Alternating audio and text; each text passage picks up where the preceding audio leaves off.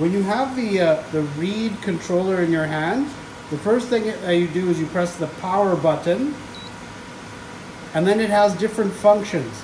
So you find the function that you want. So AN means anemometer.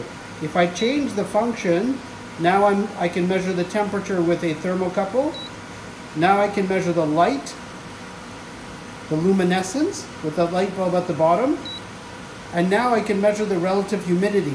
So the rel this is the relative humidity detector. So when I want to measure the relative humidity of my stack, I'm going to take the relative humidity detector and bring it to the center of my stack and get my reading.